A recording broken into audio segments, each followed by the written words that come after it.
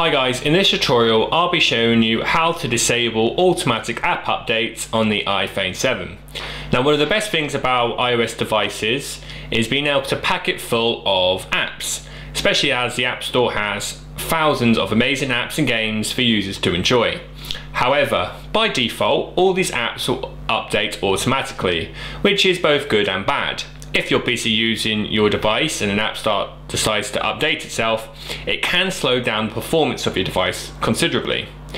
Also, uh, if you are out and about and your app uh, decides to update itself, it's going to be using your mobile data to download that update. So it's preferential to disable uh, the this automatic update option and instead take your time to go through um, your apps manually when they need to be updated.